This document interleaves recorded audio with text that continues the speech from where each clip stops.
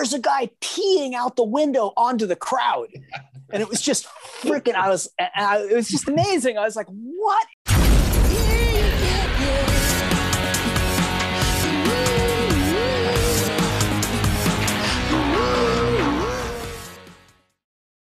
Doug Carrion played bass in punk bands The Descendents, Doggy Style, Dag Nasty, and The Humble Gods. For Love Not Lisa, and recently Field Day.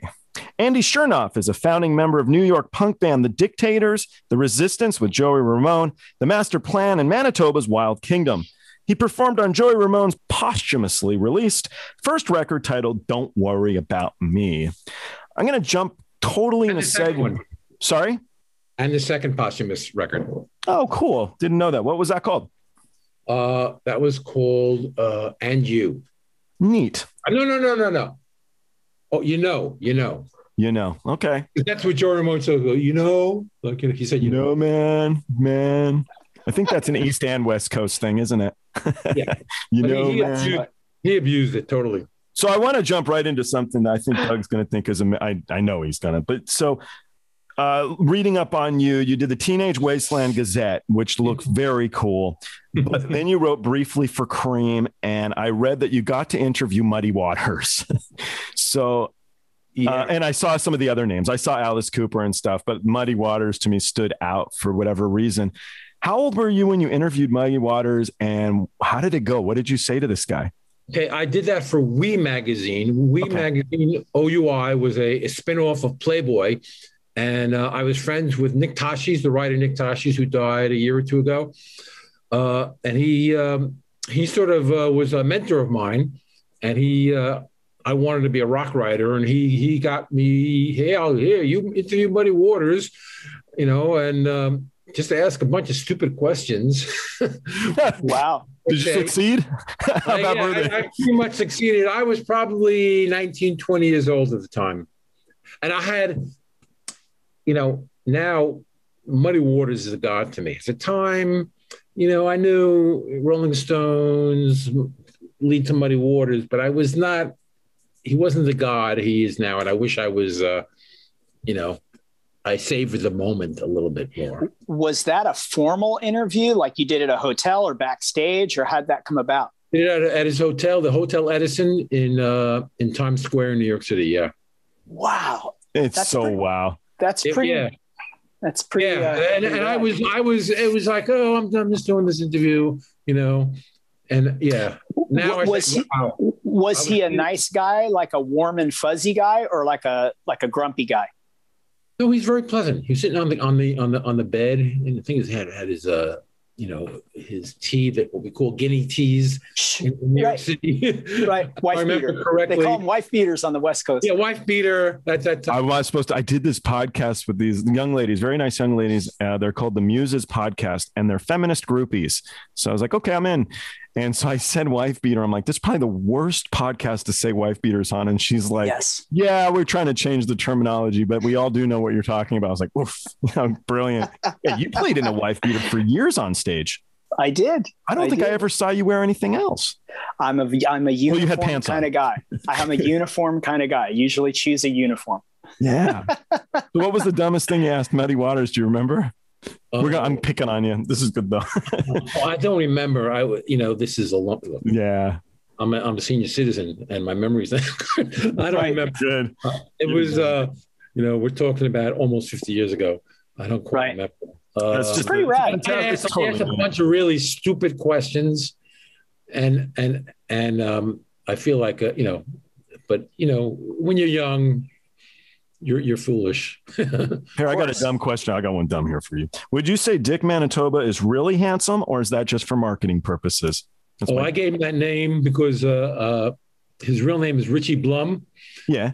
And I said, and there's a wrestler called Handsome Jimmy Valiant. So I said, I'm going to call you Handsome Dick Manitoba. And I gave, so I gave him that name because I didn't think Richie Blum was a, was a good enough. Uh, Nice. Now, if I only changed my name, I have I, I I kept my ethnic name, right, rather than giving myself a cool name.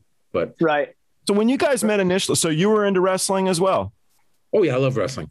I don't I don't like it anymore, but at the time I loved it. I found it so entertaining. Yeah. What about you, Doug? Were you into uh, Andre the Giant and stuff?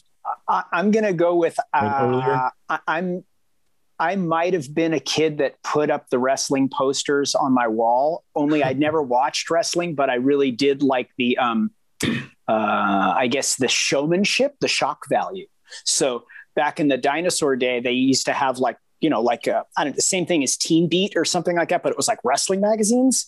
Um, and I remember always having like that and wondering where all the like I was so young, I would have thought the blood was real. You know, where the you know they'd have like the blood running down their faces and stuff like that. Yeah. And then my it was real. Sometimes it was real. They, they take razor blades, they cut their their forehead. And you yeah, see wrestlers and they have all these scars there. But my favorite part of wrestling wasn't the wrestling. My favorite part was the interview between sure. matches when these guys were just bloviating and ego. It was really really funny. When I was when I was a kid, I went to go visit. My dad was working for. Um, I can't remember one of the airlines, and he was in based in San Juan in Puerto Rico. And I went down to go visit him for a summer vacation stupid wrestling story. And as I was watching wrestling, because they had it like on Spanish TV there, and I'm watching, watching, watching, and he says to me, he's like, "Hey, dude, that guy lives in my building." I'm like, "Really?" And he's like, "Yeah, go downstairs." And I go down the thing, I knock on the door. I can't remember who the wrestler was. I open the door, and it was the same dude, and it were, there were like three gigantic, massive, just mountains and they were all watching the wrestling show at the same time. It was so badass, like watching like watching the highlight reels or something. Did they have cool. pizza? You got to have pizza. I don't remember if it was pizza, but it was definitely like casual, like super casual. Just they were just watching the show, just like, oh shit, we're watching the show. Fun, neat stuff. You don't remember the name of the guy? But no, oh, no, but it would have been. It probably would have been like one of the more like Latin guys that came up from Mexico City or something like that. Sorry, my phone's getting a little wacky here. No, you're cool. We lose you. I think we lost him there. Yeah, he'll jump back on. All right, I'll He's, carry it. Yeah. Okay. So uh, I was going to ask. Let's do one that's just you. Uh, how did you guys pick California Sun? Why did you pick that song?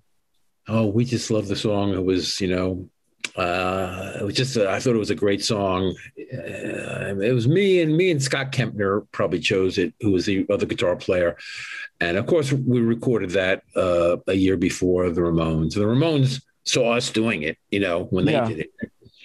But yeah, uh, so that's one. So my friend asked me to ask you. His name Darren Pouchowitz, and uh, he he had a couple. He writes for the Jewish Journal amongst other stuff, and so he wanted me to ask you. As far there was a lot of Jews here in the all you guys in the in the uh, in the group were Jewish.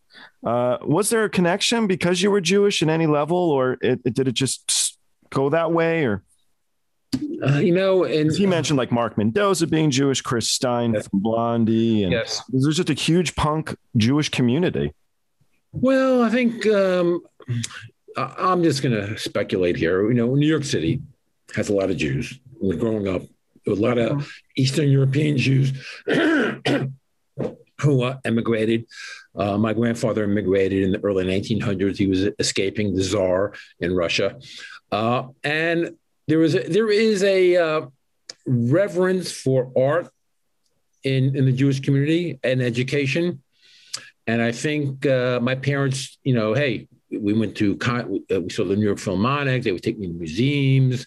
They would, uh, you know, they wouldn't let me watch regular television when I was a kid. That hmm. uh, they would they have a limit on it, uh, and uh, you know there was a reference for for the arts, and hmm. um, course, they didn't think rock and roll was the right thing to go into, but I think it's a combination. Just a lot of Jews in New York, yeah, and and a general reverence for for and respect for the arts. It's interesting. So, if me growing up, my dad's entire record collection was Cantor records, Cantor singing, like everything. Oh, okay, you're Jewish, huh? I'm Jewish. Yep. Yeah, yeah, yeah. Where, where, where, where are you from?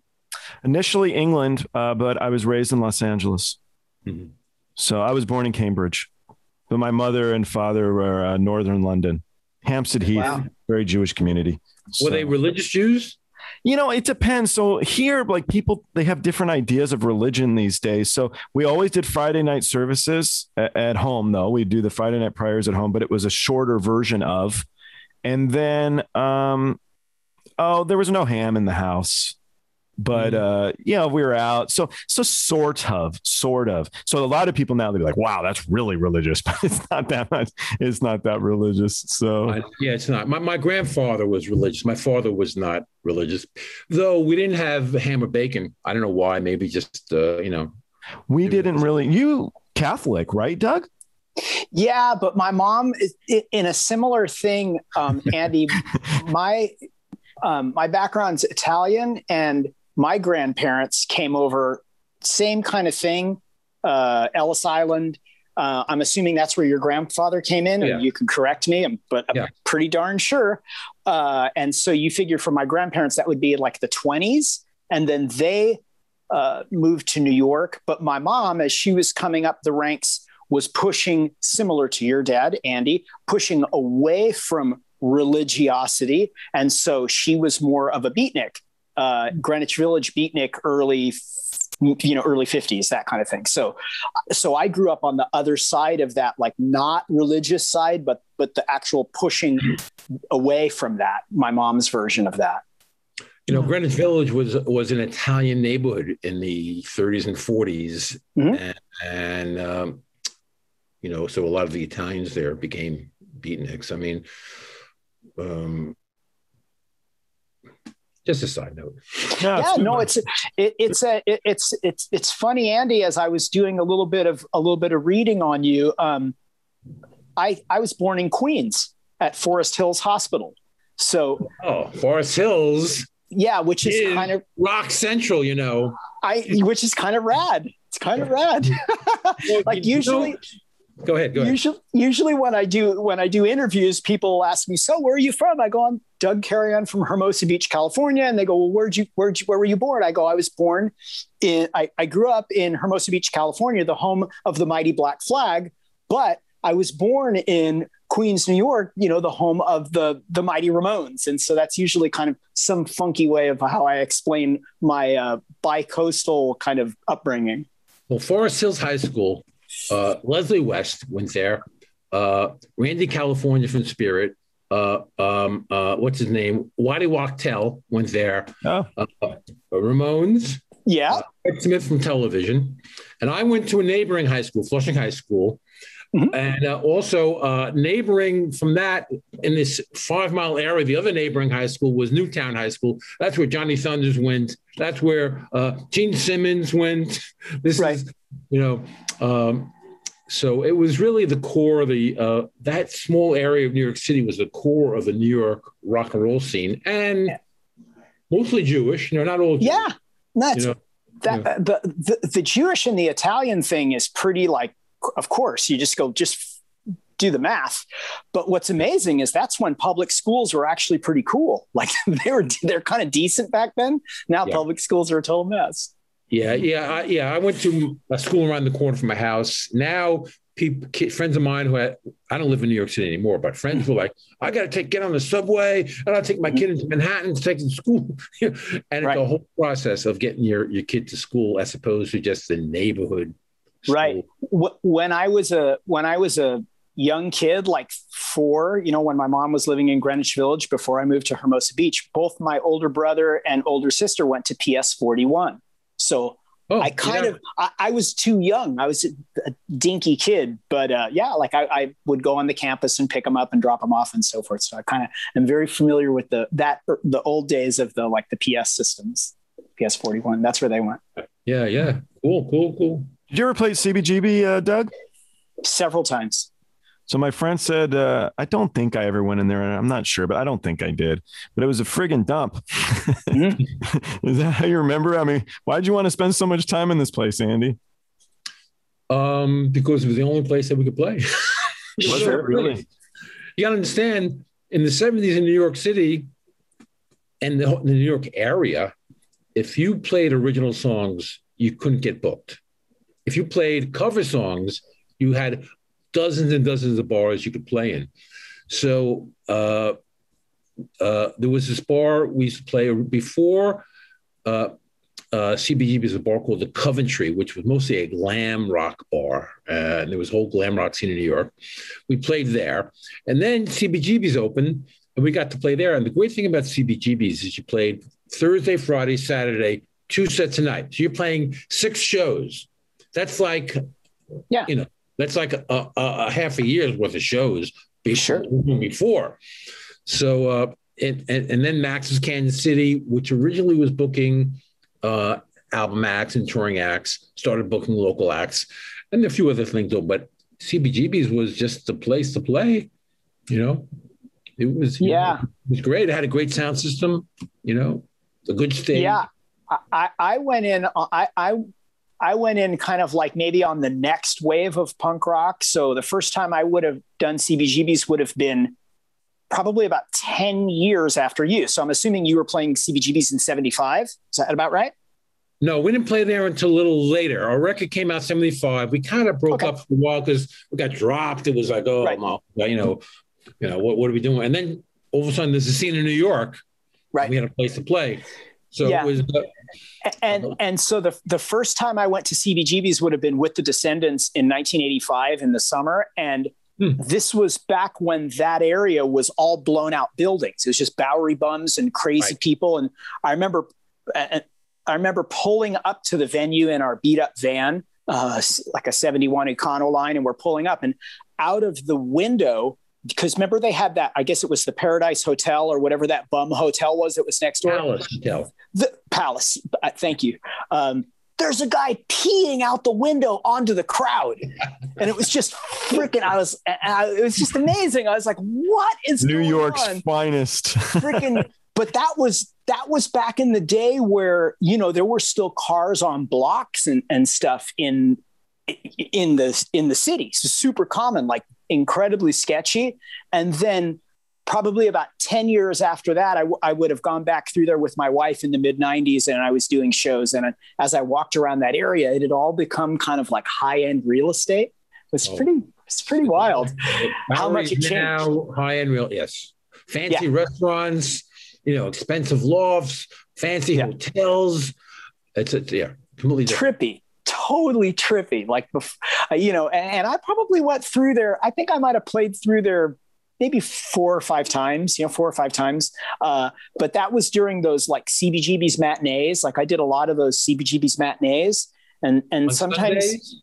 On Yes. Sunday? Yeah. Yes. And sometimes we would do a double header where we'd play the CBGB show and then we'd try to go to New Jersey to play a night show. And those were always pretty um, trying to move giant bass cabinets through the crowd to get just what a freaking Yeah. mess. But that was like in the day of, um, I guess Tommy Victor was the sound guy, like before Prong and all Yeah. that stuff. So, Yeah. yeah. So kind of cool. But yep, I went through there. One of the first times I went through there. I remember playing a show and it, it's great. Everybody's eh, the kids are jumping and doing flips. And I can see the light, you know, because the door was in the back. So you're standing on the stage and you can Right. kind of see it was still daytime because it's freaking matinee. And a kid jumped up on stage and wrapped his leg around my cable, my bit, my cable, and he jumps out. And I remember looking out and seeing the silhouette of all of the electronics from my bass just going across the crowd. And I was like, oh no. Yeah. And so that's like funny CBGBs, like seeing the silhouette of this kid stage, you know, jumping off the stage with all my freaking EMGs, all that stuff. Yeah, those those, It was fun. those, those Sunday hardcore shows was it was the birth of hardcore in New York, and th- those Mm. were some exciting, exciting shows. I I went to a few of them.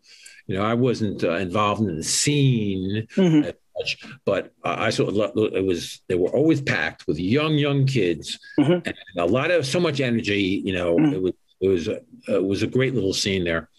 Yeah, I was, you know, Descendents was was something that was a little bit more like um, maybe the maybe like the Beach Boys on steroids, like that, like kind of pop and melodic, but blistering fast, lightning fast. And I was always uh, kind of fascinated that the super hard, like New York freaking A7 crowd would come out to see this silly punk pop band, you know, because as we'd be blistering through songs, you know. but they were they were in- incredibly welcoming, like super super nice to us as we were just like literally beach kids, like Yeah. hey, we're, like we're in New York, you know, watching When the did the. Descendents uh, sort of break through and become really popular? Uh, What what album was the? Uh, I, I'm going to say that there's kind of like they've had a long legacy. It's like the Yankees, and and I'm part of the alumni. So I'm in the second wave of the Descendents, record three, but they kind of, I think, the Milo goes to college one in 82 was the huge one. And then the one that they, when they came back that I wasn't involved with, uh, I want to say was in 95 and it was the Everything Sucks record. And that one really like, I think, you know, for if memory serves me, where Milo goes to college might have sold 2,000 units, and that was considered great at the time. I think Everything Sucks was like 250,000 records or something like considerably better. they're a major, major draw right now live. Oh, they're, f- and it, I'm, in fact, I'm getting ready to play. I'm still friends with them. Like I still, I'm super friends with them. I talk to them, and uh, they're getting ready to play punk rock bowling on, um, 924 on September 24th, and I'll, I'll go before. And, and, you know, they're going to come see, I'm playing punk rock bowling on 925, and they'll come out and hang out. So we're still like, I grew up at the beach, and the beach is just this teeny community, and a lot of the people just remain friends. And you just, you still run into them all the time at these shows, or is what it is. So they're, they're, I'm happy to say like we still have a great relationship like great fun spastic whenever whenever I'm in town, they'll come hang whenever they're in town. We hang, so it's good. It's a really cool thing. Forever, like three decades later. great, yeah, that's great. No, I, I I've had a lot of relationships in music that have lasted that long, and I, and I really, I really treasure them. Yeah, because you end up. What happens is you go through. It's kind of like maybe going through. I don't know, just a lot of bumps and on the road, you know, sometimes good days, sometimes challenging days, and you build a very serious bond. Uh, usually, not all the time. Sometimes there's tension, but usually you you build a lot of a lot of bonds because you're spending hours and hours and hours in, in, a van or on a train or whatever on a plane with the same freaking knuckleheads. so you kind of, you know, they're like extended brothers in a way. Absolutely. I agree. I totally agree. Yeah. So what's it like now? Because both of you are doing new material uh, in the last year or so with guys that you have known for mm-hmm. shoot the better part of your lives, I think, mm-hmm. you know like longevity, a long time or decades for real. So what's it right mm-hmm. writing songs with those guys again? And you're, you know, you're recapturing your youth, but you're bringing in new material. It's got to be kind of fun to be like, dude, we're still doing this, bro. Look at us. well, Andy, I'll let you go first. You can answer that one. I'll go second. Um, you know, you know, reforming the dictators was literally the last thing on my mind. But we, we had some legal things we we had to deal with, and that brought me, Ross, and Scott together. And it lasted over a year. And so we were we were and I had I had kind of lost communication with with Ross. I was always friends with Scott, but it brought us back together, communicating on a mm-hmm. on a regular basis about how do we get get this money that we owed. Mm-hmm. And uh, um, at the end of that, Ross says, "Hey." Let's reform the original band, me, Ross, and you, me, Ross, and Scott. Mm-hmm. And I'm like, oh, I don't know, man. I got, I got a nice life here. I don't want to like, you know, upset the cow, right, the, the cart. But Scott, Scott was into it. Scott was said, hey, let's do it. Come on, we can have fun. And this is at the end of 2019, mm-hmm. right before. And I said, hey, okay, let's let's let's after Thanksgiving and Christmas, in January 2020, let's start talking about it. And of course, the pandemic, that's when the right. pandemic just starting. And I am so thankful that we did it because it kept me busy during right. the pandemic. So, you know, just, just working on the songs, trading files, you know, uh, figuring out what we got to do. So, um, I forgot the question, but well, I, well, what's it like working with these guys that you've known for oh, decades? Well, yeah, it was great. It's great. And we got for drums, we brought in Albert Bouchard, who was in the Blue Oyster Cult. He's he played. He's a yep. he's a cowbell player on uh, on Don't Fear the Reaper. Sure. And he, he's a he's a buddy. We've all worked with him, and he's didn't great. he produce the fir- one of the first records for you guys like a gazillion years ago? No, no, no, no, no. Who Albert, was the Blue Oyster Cult like connection from way back? We were managed and produced by the by the same guys, Steve Pearlman and Murder Crew. Got that's, it. Thank that's you. how we met Albert because we were part of the got it same family. Yeah, family, sure. Yeah. So Albert's been great.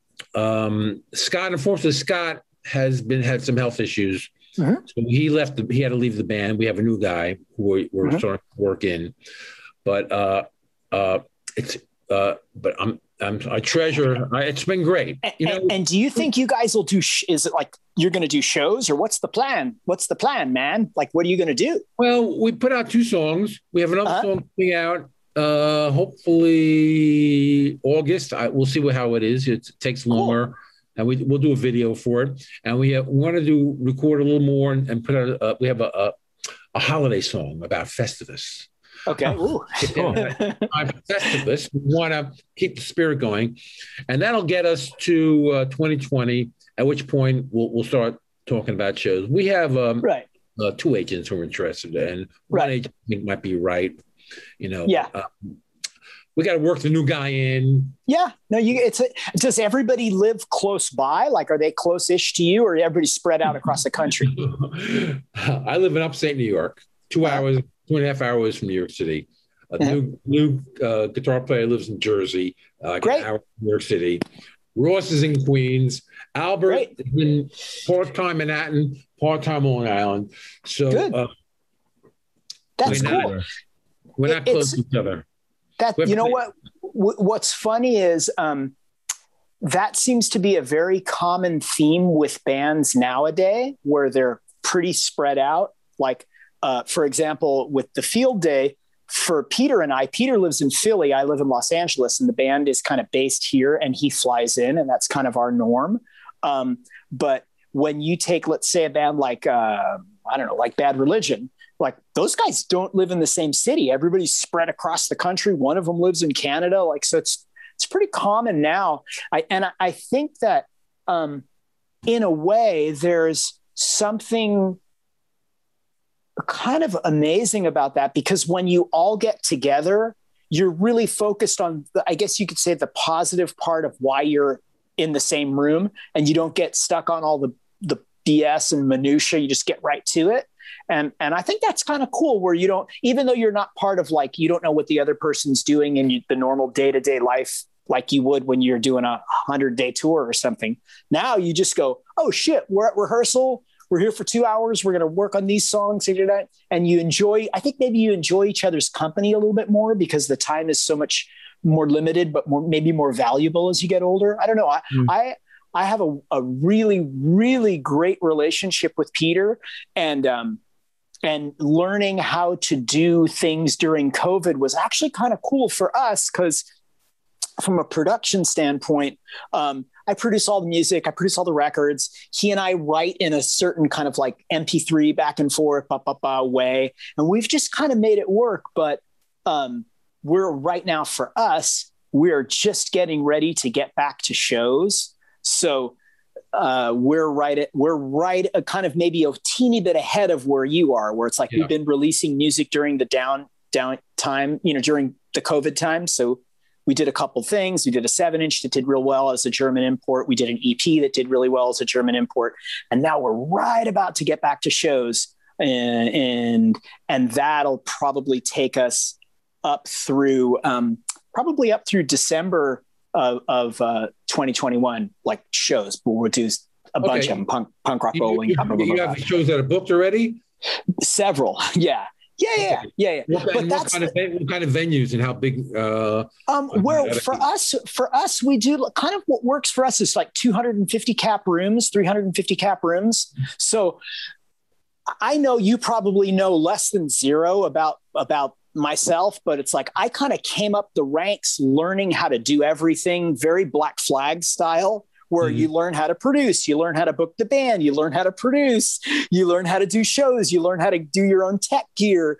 Uh, and so I'm what you might call a punk rock impresario, where I have a, a three decades of experience on the ground hustling. Hashtag don't hate the hustle. So um, the last year and change for COVID, um, we've been doing a lot of recordings, and now I've jumped right back in. Like I'm the guy that books the band. Not very glamorous, but it is exactly what it is. It's like it's a yeah. I'm the day to day guy, the inside guy, and um, yeah, just kind of hustling. But in answer to your question, usually like 250 cap rooms, and I think we have something like. Will they? Will they? Will they? Will those rooms be full? 250 people packed. Yeah, yeah, yeah, yeah. So the, yeah. the so, clubs are not worried about COVID anymore. Is that that's my question. Nah. So so that's a beautiful question, and every state is different on how they're going to go about that. Some have different protocols. Um, uh, so I, I would have to say it's going to vary depending on where we go. Um, but we're not going to start doing shows until uh, the first one's going to be in San Pedro on 922. So we still have a couple months for all the BS to go away. And then we'll do somewhere in the neighborhood of like 15 shows before the end of the year. And then we're already booking into 2022. We're going to be in San Diego, blah, blah, blah, blah, blah, blah, all that junk. And then um, we have holds all the way through wow, all the way through May of 2022. So we're we're we we're, we work pretty long range, but yeah. it's cool. That, that's that's what I do. What's it like? So with Dag Nasty, I assume you tried out for them way back in '80. Kind of. I mean, it wasn't really a tryout. What happened was Brian was going to re re. I guess you could say reboot the band, and yeah. he didn't one, he didn't have a bass player, and I think that he appreciated what I brought to the table, kind of like um, musically and uh, biz. I guess like how I could help get more eyes and ears on the project. So yeah. I'm, I kind of have, I, I'm kind of a good hustler in a way, you know. So I think that that was kind of where where it came from. So there really wasn't an audition. It was more like, hey, do you want to do Dag Nasty? And I was like, yeah, sure. And when do you want to start? And he's like, well, let's move back to DC. We're both in California. Let's move back, back to DC and we'll start in the new year. And so right then we actually started writing songs for Wig Out at Denko's. Like right as it was like, okay, cool. I learned the songs on Can I Say and we started writing. That was it. That's cool. It's neat. Um, for you, Andy. So with the Ramones, uh, how did you first meet uh, Joey Ramone? and then you guys must have been very close. If you, you, you clearly did a lot of work with him.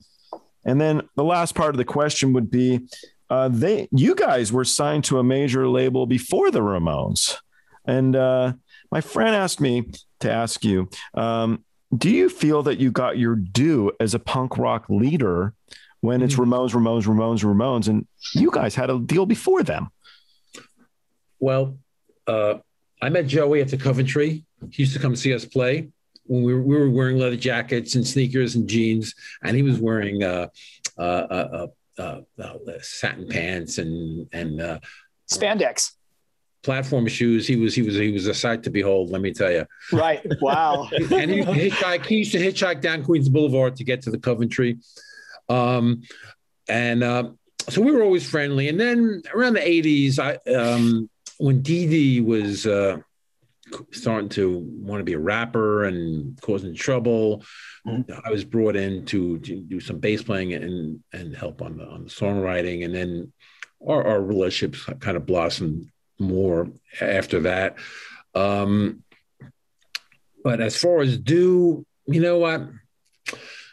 I've been able to. Uh, I've I've made you know, uh, if, if you look at my uh, resume on my, my, website, I have like 200 credits on albums for. A, you are a songwriting machine. I did see songwriting. Yeah, you know, I, I, play bass. I, I yeah. produce.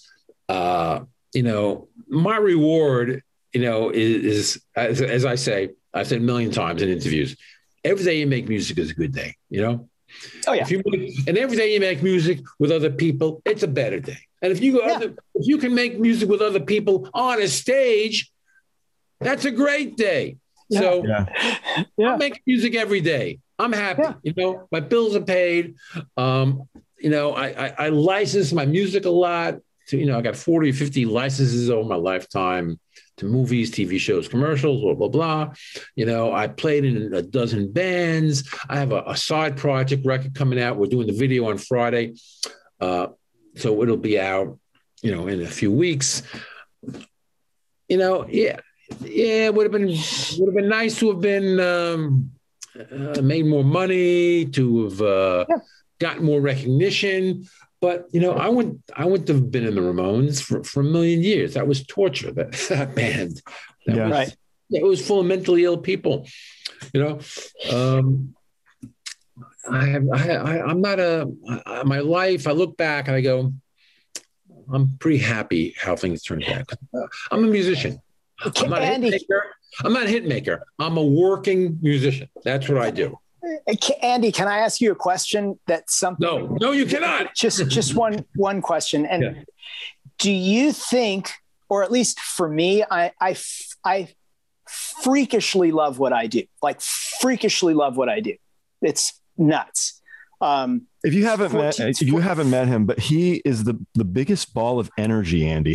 oh, it's dude, ridiculous. I'm a, I'm a hyperactive poodle, but I guess my question to you is: Do you believe, like I believe, that the best song is still yet to be written by you? Like you still have one in you, and you're going to wake up and pick up your guitar and be like, "Holy shit!" And that, like, I still believe that. Like, I still love writing songs, and I still think that there's another one inside me that's going to be better than the one before and better than the one before. Is that are, are you? Do you follow that same um, thing?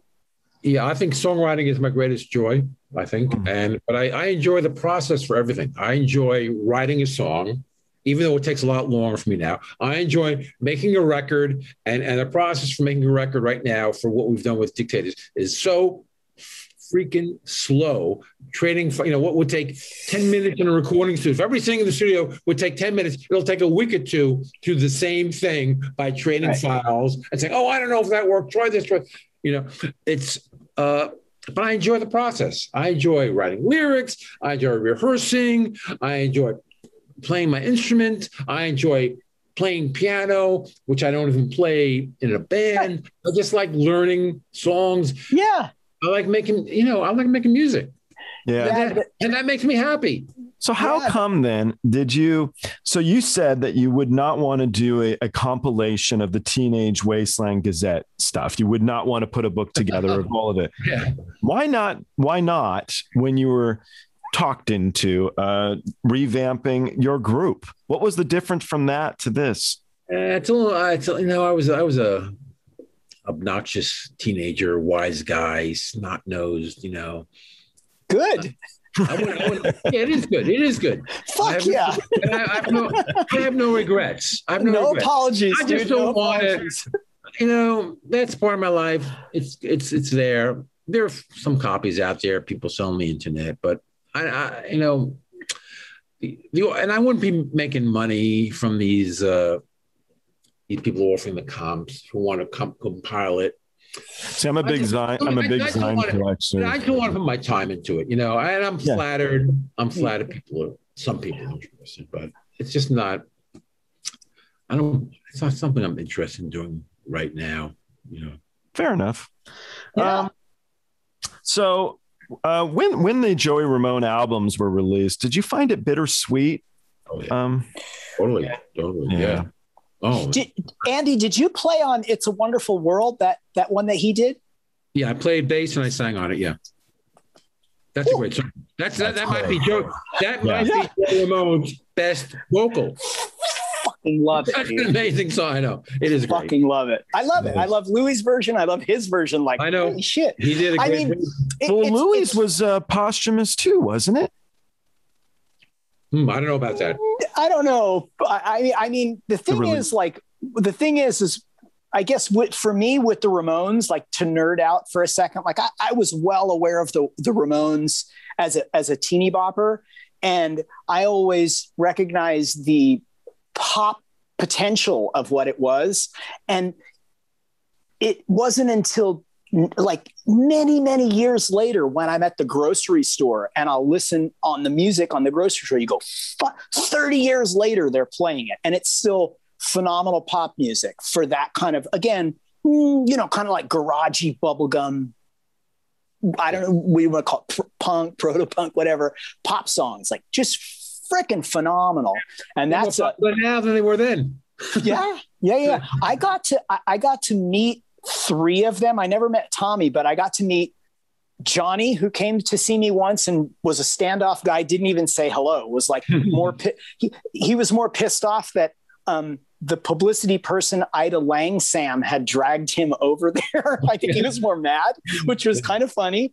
I got to meet Joey once at Coney Island High, and he was working in the I don't know the '90s, and he was working with this other band, and he was super sweetest guy in the world, very cool. I got to nerd out and talk to him, and then I got to meet Dee Dee one time in mm-hmm. a. Um, through I can't say who, but through a situation where everybody was at like a pot dealer's apartment, and he said he was going to go grab some weed for some people, but he took the money and never came back. So I only got to meet him once yeah. through a very funny like we grabbed 300 bucks and vanished kind of thing. So there you go. There you go. That's my Ramon stuff. ripped off by Joe, by Dee Dee Ramone. Classic. Well, not me, but my buddy was. Yeah. My buddy was trying yeah. to get weed and then Dee Dee just vanished. Doug would have never let that happen. yeah, Dee Dee, Dee Dee was a schizophrenic. I mean, yeah. a classic where literally one day he's your best friend and the next day he hates you. And you know, right. and you can't figure out what happened. Right. That's that's that's the story, and I'm you have with me. I have with a lot of people. Right. Joey was an absolute sweetheart. Loved his fans. You know, I would walk. We would. I would walk down the street with him, and somebody would talk. He, would be stopped by fans, and he would talk to them for like a half hour. And we're supposed to go to a restaurant or something. And right. I'm like, you know, I get. I would yep. get impatient, but Joey loved talk to his fans. And Johnny, Johnny was uh, he was a control freak, you know. Um, but it never would have happened without Johnny as a general. No, he was the rudder for sure. He yeah. was the rudder and, that kind and of his his guitar style, you know, yeah. changed the changed rock and roll. So it took a while. But yeah. then Tommy, Tommy was the architect. Tommy saw the big picture. Tommy put it all all the pieces together. So it was a unique band, you know. Yep. I saw I, I did I saw an interview with Joey, and he was saying how he would he'd piss in a cup and give it to somebody to drink and stuff. Do you think he would really do crap like that? They did that, yes. They did that in England uh, when they played July 4th, 1970, 1976. Uh, what the hell? At, at the Roundhouse, uh, John, uh, Johnny Rotten came to see them, and they they pissed in, in the beer, and they gave it to Johnny Rotten, and and he drank that. He drank it, so that's true there you go. That, that's the holy grail right there. Is there any other punk stuff that either one of you guys have from the old school punk stories that are just total bullshit? That's just like, I don't know why they say that's not true. Not true. Uh, yeah, no, I'd have to be to the story. You know. Speaking of which, what a, what a wonderful world was released when he was alive, so that's not true. I just quickly no, no, no. looked it up. So no, no, he was dead. No, no, no, no, he had died. No, no, the Louis Armstrong version. I'm like, it was. Oh, I see. Okay, you're right. I was totally wrong. So, uh, for for Doug, so Doug, you were you were working with a band called the Humble Gods. So in my college True. dorm room, I had a poster up of the Humble Gods. That was my college room, and then uh, the Humble Gods sort of transitioned into the Kottonmouth Kings. I remember mm-hmm. I remember it happening where all of a mm-hmm. sudden these two rap guys. Mm-hmm. Uh, start really just taking over the whole vibe of it all. And then Brad, mm-hmm. who I didn't know you knew for that long. You've known Brad mm-hmm. for I had no forever. Forever. I didn't forever. know that. So Brad starts going with the uh, vibe of the money, I think. But Vab- Brad was a killer front man, man. Right. Killer. So so here's the backstory on that one. And Andy, I'll I'll, I'll give you the the story too. So you'll kind of follow this. So I was playing in this kind of uh, Southern California punk band and the Southern California punk band was on Hollywood Records, and it was a band called Humble Gods. And you know, we played fast songs and blah blah blah blah blah. The and opening so, band was ICP. Remember? Right. And and we we had gone out to go do what was the other way around. We had gone out to hmm. do some shows with Insane Clown Posse, the ICP, that were rap guys. And while we were in well on that tour, Brad, who's the singer for Humble Gods, um, saw like he had this epiphany where he was he saw kind of like where track acts were going. So you figure like what rappers were doing how there was a certain niche that wasn't being tapped. And he came up with this idea of fusing a little bit of punk a little bit of skateboarding a little bit of weed culture and southern california culture into this gigantic club sound.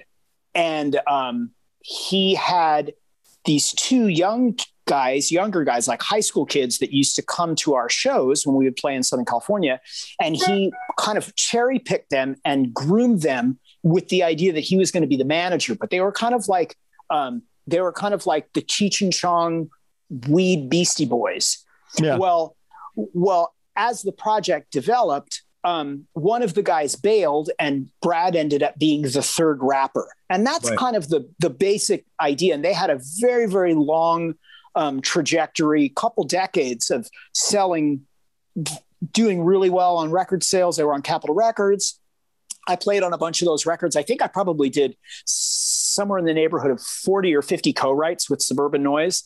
Um, and yeah, that's kind of how that came about was like from as Humble Gods was going down because we were getting dropped from Hollywood, Brad saw the potential of the ICP thing and, and he he didn't really like ICP kind of lean a little bit more toward that like um horror rap where it's like a stage show carnival carnival I just freaks remember kind of thing. yelling at you because they would do the soda pop and they'd spray it Right. all over the place, and Right. the promoters would be like, "What the fuck, man?" And Right. they put garbage bags up in this Yeah. pathetic attempt to stop it.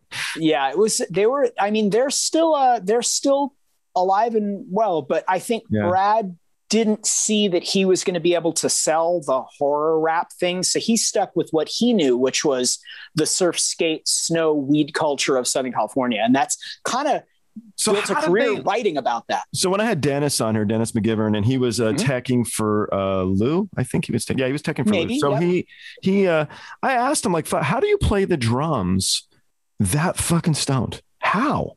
Because I know, I know they were they were they were really stoned all the time. I don't know Yeah. if Brad was, but uh, the Yeah, other guys, yeah. he was. I don't Yeah. know, but uh, how, how do you play that screwed up? Have, have you had shows like that, Andy, or whatever, where you were like, God, how did I drink that much tonight? How am I going to get through this? Oh, well I the suck. thing is the thing is is and I, I can i can thread the needle on two of those one um Kottonmouth Kings like they really did smoke from It was six in the morning until six in the morning. Like they smoked the whole time. In fact when i would go on tour with them i would come back from the tours with asthma because that's how much pot smoke was in the bus. So it's, it's kind of tough. Well with lou lou was playing to tracks. So for the most part there's a lot of it's like playing along to a record in a way where it's like if you flub, as long as you can catch where you are, you're not going to goof up too bad. So I think that's kind of how that worked, where you just played a track. Amazing to me. I mean, I get it. It's part of you. You've played the bass for so long, whatever. But at the same time, I've seen some shows like we did a Papa Roach show with Guns N' Roses. They, they were playing on uh, Rock in Rio. And the fact he made it through, I thought was uh, the Papa Roach singer guy. I thought it was amazing. He made it through because Mhm. he was puking the whole time. How do you puke Yeah. and go back to finishing the set? I mean, he was just he had been drinking so much. You Jacoby, do. That's his name, Jacoby. Yeah, you do. I mean, you know, there are times, I, I, with no disrespect to Johnny Thunders, I remember seeing Johnny Thunders play at the Whiskey Go Go, and I was, I was probably about 16 or so. And um, he was definitely, it was hard for him to stand up. And some people party very hard. I remember doing, a, I remember doing a show with Sublime once, and similar i'm going to go i'm going to go all the way back to the wrestling. He literally had to be carried off like he was like a wrestler. Like he had to be carried out off the stage. I, I couldn't I, I was like Bradley. how how the fuck were you standing 10 minutes ago? Like i couldn't even believe he was able to stand. It's but- amazing. Amazing you know I, Were you a big it is- partier, Andy, or were you a good boy, or a bit of both? Or No, I never liked. I was not into drugs. Johnny Thunders. People used to go see him because they thought this might be the last show. We want to see him die on stage. Sure. That was Sure. part of it. Actually, I went to elementary school with Johnny Thunders. I knew him Wow. when he was like eight years old. wow i mean incredible. so incredible was he doing style, crazy stuff on a skateboard, writing. or No, pre skateboards. We were, he was a baseball player and a stickball player in, in the schoolyard. He was an, a- Right. an athlete, an actual yeah pretty good athlete. Huh. Yeah, and a, and a and a pretty good writer, a pretty good songwriter, a great great song, performer, great And, great uh, fashion sense in a way, like kind of Oh. how, how he wanted to dress and like fucking Nobody had more charisma than Johnny Thunder. Totally. That guy dominated the room. Always looked great. Always Yep. looked cool. He could put on any, any kind of clothing and he looked cool. Yep. Yeah. Star quality for sure. Star Oh, quality. Totally. Yeah, just beautiful. Like be, great star quality, like a freaking 56 Cadillac, just star quality. You go, yep, that guy's got Well, it. I never, I never got into draw. I tried everything. I like weed. I like wine. You know, I'm not into. You know, when I do a show, I'll do have a beer before the show. After the Right. show, I might smoke some weed. I might drink a little Yeah. more. But I, I learned early on that uh, if I'm smoking weed before I go on stage, I'm Yeah. gonna I- Doug's and- and- boring now. I don't think you've done anything. And Well, shit. I mean, I mean, I, well, first off, I was always so worried about being the weakest link live that I would never Mhm. drink or do anything before. Like that's just like like there's a gear. I in remember me- you getting. I, I felt you were nervous always. It was true. I- I think I don't not nervous, not nervous. Like, um, oh my god, there's people like, here. You guys were about to go on, and then you'd come and check on us to make sure we had the T-shirts set up and stuff. And I'm Yeah. like, where does the producing stop? And you get to go perform. it, it doesn't stop. So so for me, part of it is I think that if people are going to plop down ten bucks or whatever, you have to deliver the goods. And that's always why I just never felt like it almost feel like I was stealing from people if I phoned it in. Uh, and then and then once I got had kids and stuff like that, then I just was like, I just felt like I would be a bad role model. So I just kind of stopped drinking. I just kind of, I maybe I aged out of it. I just grew out of it. Are you jumping up and down on the stage still when you play now with Field Day? Are Uh, you jumping a- around? A, little bit, a little bit, yeah. You're a little pretty bit. active bass player. You cruise. Yeah, I was a cruiser for sure. Now, now I I hold field day is a little bit different because I do a lot of the vocal duties too. Like Peter and I are kind of doing, in a way, like the Clash, where it's like we're doing a lot of vocals. I'm doing a lot of vocals, so I don't really have. I'm, you know, I don't have that much time to do backflips and shit like that. I'm getting older. What, Well, what's, the, what what's, I was questioning. what, yeah. what's the what's the thing Clint Eastwood says? Know your age, like know your age. Yeah, yeah, so, True. uh, Uh, he's, hitting- he's almost 100 years old, man. He's in his, I think he's in 90. He's killing it. I don't know. he still directs movies, Clint. God Yeah. bless. Fucking go for it, dude. All right, so quick, so maybe final question, unless you guys have anything else you want to throw in, you're welcome to go for whatever. But um, my, I was going to put a podcast together, and my friend's fifth grade daughter and her girlfriends, they said you need to ask the people when they first felt famous. So this is from a little kid. This is from a fifth grader. Mm. I like the question because it has a broader perspective. When did you first feel good about yourself? When did you smile ear to ear? When did you maybe feel famous? When did you feel a celebrity? When did you know there was an event happening that you looked at yourself or someone else and thought, this is this is this is cool? What's the first that comes to mind? Andy.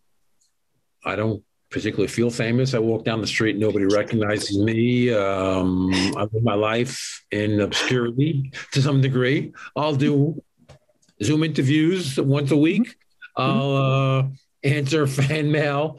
Right. Um, I'll get on stage. I'll, I'll be a star when I'm on stage, and then I'm back to my normal life. And I, I, I kind of like it that way personally.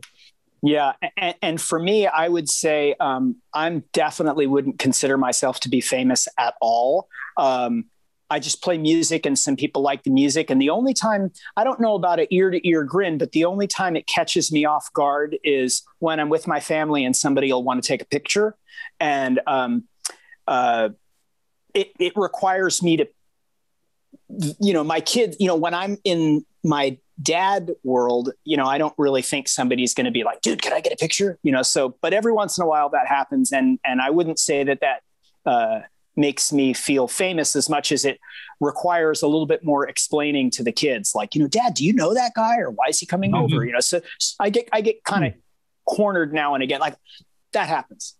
That there you go. Fame, fame can screw your head up, and I've seen it many, many, many times. So I think if you got your feet on the ground and you consider yourself, I'm, I'm a working musician. Yep. That's what I do. Yep. I'm not. I'm not trying to be famous for famous sake. Now, if if I write a hit song and I'm famous for that, I'm happy to to accept the fame. But Yeah. uh, I don't want to be famous just for. I don't know. I don't know. Whatever. Yeah, I, I, I kind of it's it's wild because when we do field day shows, I I build in a meet and greet after the show, so we play for about an hour, and then we and then we're done, and and then we tell everybody like, hey, we're gonna get some you know get some water, we're gonna hang out, and usually there's a a fair amount of people that want us to sign stuff. They want to take pictures. Blah, blah, blah. And I And you built sell that right. records, you sell, you sell vinyl there. You could, Yep. you know, it's So that's a way, an absolutely perfect way to to connect with your fans. I think it's a yeah and, and, and i kind of look at it more like um you know wow they plopped down whatever 10 bucks to come see us on a saturday night i think it's proper manners to say hello Mhm. and that's just kind of i come from a totally like in the punk world there's not a lot of separation between the fans and the and, and the band and um, people I'm I'm probably one of the most approachable guys in the world after the show. Like come find me. I'll come say hi. I'll take pictures and just it is I feel kind of a, in, a way a bit of an obligation as a as a um, maybe a thank you for checking it out. And there's a lot of options out there. And thanks for coming and seeing me on a Saturday night. Yeah, I had Peter Finestone on here and uh, I posted it to a bad religion room. And a fan wrote, Man, I would kill to have a record signed by you. And I don't know, one of the other guys, probably Greg. Mm-hmm. But anyway, he's like, mail it to me, man. he, he yeah. was like, send it, I'll sign it and send it back. That was really cool. He's a great guy. Very yeah. Cool. Yeah, that's the that's the thing where it's like in in the punk world, like after Kiss, you know, where where Kiss had that more kind of like the mystery and you never saw behind the curtain kind of thing. Um, I, I grew up playing in shitty bars and juke joints and VFW halls, and there was no, there's no green room, there's no separation, there's no separation. You're like, hey, I'll be right back. I got to go play, and you just went and played. it was just yeah. like that. Yeah. And then you, you came like back. You go in the same bathroom as the audience. Yeah, yeah. It's the, there's no separation, and you, and you just, I mean it's it wouldn't be a surprise like I, I, guess some fans out there would know like i was such a I still am kind of a, a bit of a character, but I would go into remote you know, you go, you're in Columbus, Ohio, or some crazy town, and a, a, kid would be like, "Holy shit, a Joy Division shirt!" And you go, "Wow, you like it?" And they're like, "Yeah."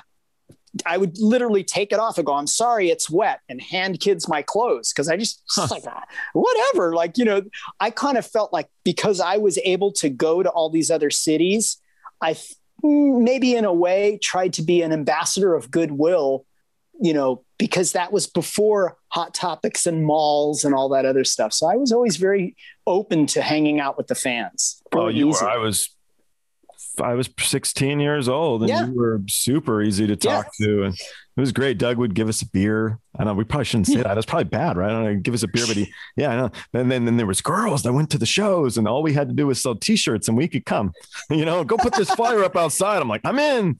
I'm a big, yeah, I'm a easy. big zine collector. I love Raymond Pettibon stuff. And as I started getting into it, I called Doug, and it was uh, I forgot, but it was it was a it was a poster, and he goes, "Oh yeah, yeah, yeah, that one's real. That one's real." I remember having that one. we did the show with those guys, and, and it was so fun yeah. to get it back into the vibe and all that early yeah. punk art. I love, yes. love, love, love. For sure. So, so, Andy, I have one question for you, um, if you don't mind. Whose idea was it to do the false stop ending uh, at the end of, I guess, faster and uh, faster and louder on? Um, Blood Brothers. Was that your idea to do the stop, fake it, and then the stop? That was. I don't remember. So genius. That song's yeah. badass. I love the kind of I love the rolls, like the the the crescendos inside the song. Great. Bruce Springsteen, you know, Bruce Springsteen's on that song. I did not know that. Yeah, that's amazing. Uh, that's amazing. That he was in the studio next door, and we had him count off at we do it that big, big, big, big, big, big, big, big, big bill. He does the one, two, three, four. Yeah, he that's him. Yeah, yeah. Shit.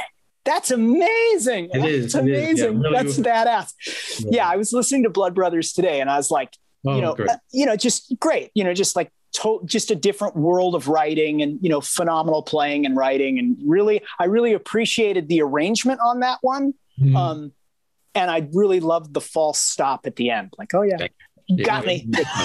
you know, there's this really good heart or feel good stories with Bruce Springsteen in a uh, in the one of his early tracks one where the, the guy could throw the baseball in high school or whatever. Well, the guy yeah. would always say, Yeah, that's me, that's me, that's me. And his wife got a hold of Bruce Springsteen and they hung out. They went to a diner together and they caught up. And he's like, you know, you you it is true. You were you are the you were the guy. It's it's true.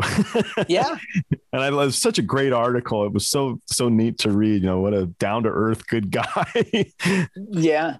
Yeah this, i mean he's the story's got a guy who spent a lot of time talking to fans. I haven't i haven't seen bruce in a long time but uh, he's a guy who will talk to fans for half an hour after the show mm-hmm. you know. Mm-hmm. um that that's of course is 20 30 years ago but mm-hmm. uh, he he's another you know, kind of down to earth. Mm-hmm. guy. Doesn't look look at himself as being a famous person. He looks at himself as being a, a musician and a songwriter and a band leader. You know. Mm-hmm. Uh, I think I think it comes down to appreciation. You feel lucky when you can pay your bills doing what you like, especially after decades. It's neat, and then to yeah. get to, uh, to to to work again with people that you worked with in your youth I love the idea of I, I, like the fact that you can still stick together, both of you guys, and do new things with people that from the old school and do what you like doing. So uh, you know, having listened to a bit of both, I appreciate listening to your guys' new music and your old music. So, Great. Thank yeah. you. Hey Doug, you coming East Coast uh, on your, on your always, tour? always. So how I don't know I don't know how far upstate you are, but we're going to be um, and we're going to be uh, closer to like Manhattan, doing like you know Baltimore, Philly, blah blah blah blah blah. But I'm supposed to get up into your way in the spring, um, up by uh, you know up by towards like the Albany's, Buffaloes, that kind of area after the snow. Because I I'm from Southern California, I don't do all that snow shit, so I got to wait a little bit. But if you if you're anywhere close and you could give me two things anytime you have any questions if you ever want to talk shop and stuff like that, mm-hmm. it, I'm happy to whatever. If you want to talk shop, we can always talk shop. Joel's got all my contacts. Reach out. Don't be a stranger. And then vice versa. Albany, I'm, I'm, I'm, close to Albany. Albany was about 45 cool. minute drive. So uh, right. if you so, play there, I'd love to come see you. Yeah, yeah, yeah. And we'll come on out and hang, and we'll do we'll do the do for sure. We'll we'll hang out and whatever. Yeah, for sure. Absolutely. I think we might play Lost Horizon. Might be where we go. I'm not sure if I know that, but uh, whatever, a rock yeah. bar, whatever. Yeah. they're, the, they're the same. There's the thing. There's the shitty bathroom.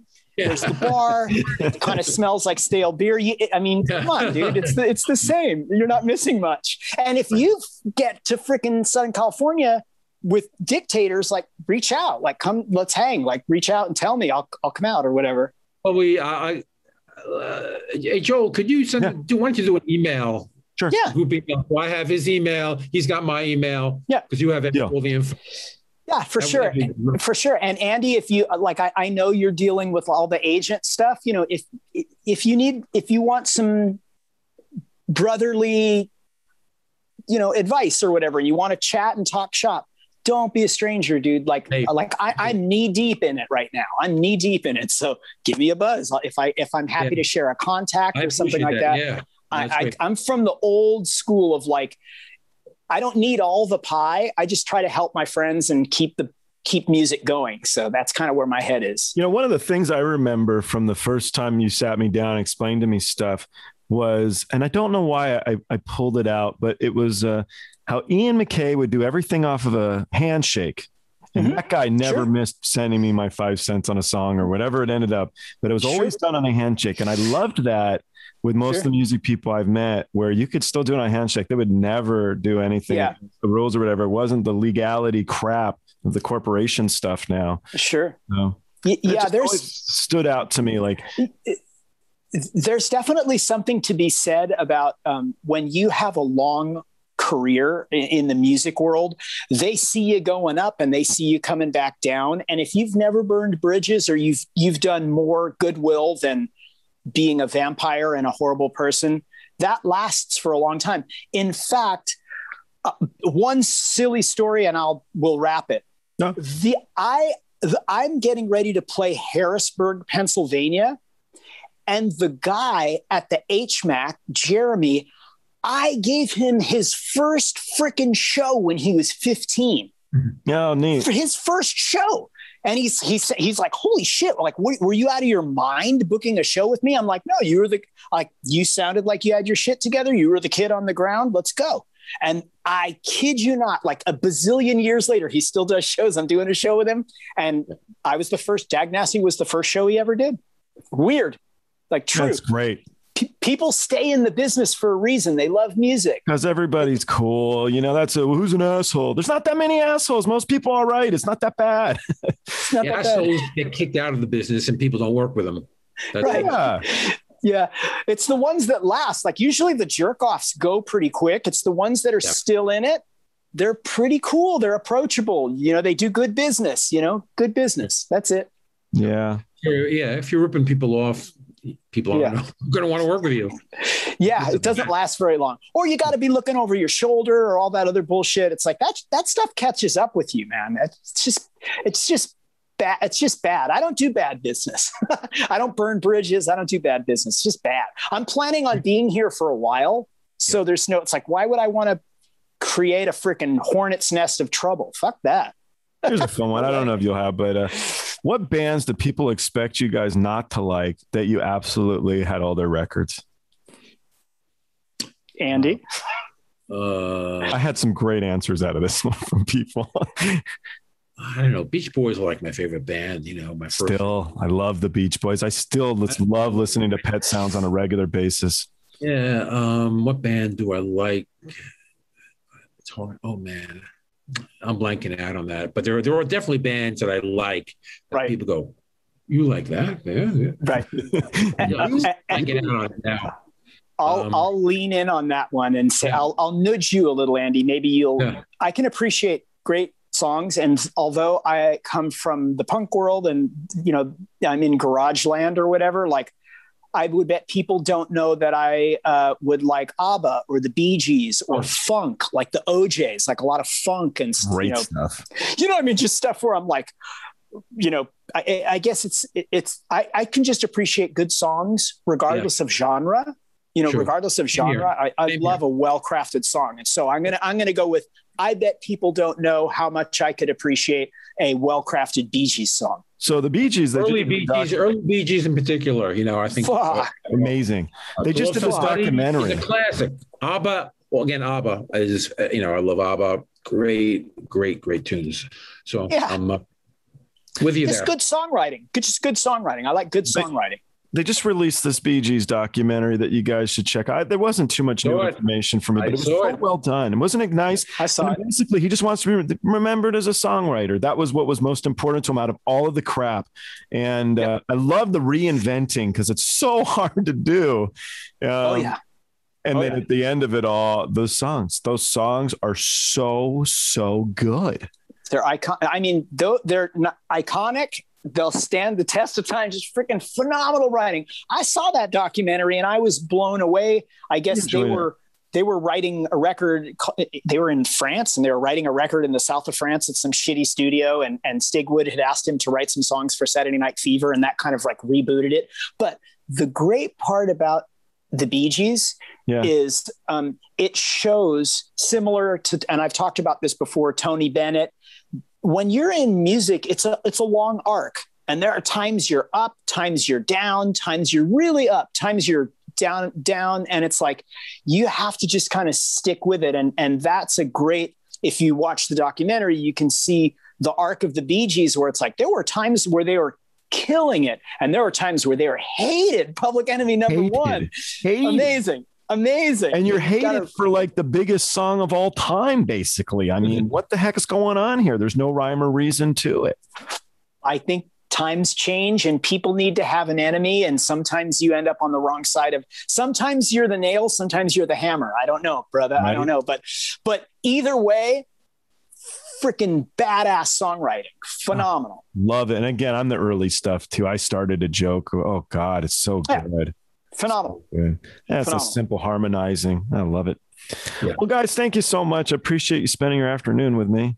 And for uh, sure I'll Yeah. definitely search. I'll shoot you guys an email now, and uh, I'll put your info or you respond, whatever you guys want. But I'll put you in touch.